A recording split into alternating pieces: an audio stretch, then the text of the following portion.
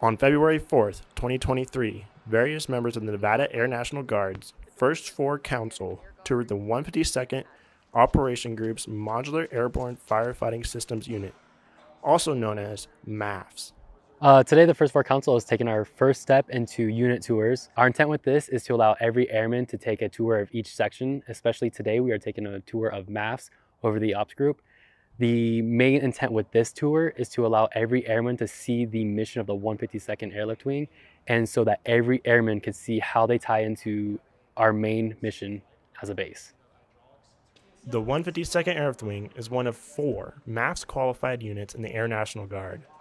These units provide a surge capacity for wildland firefighting as requested by the U.S. Forest Service and U.S. Northern Command 1st Air Force. For the 152nd Airlift Wing Public Affairs Office, this is Senior Airman Thomas Cox.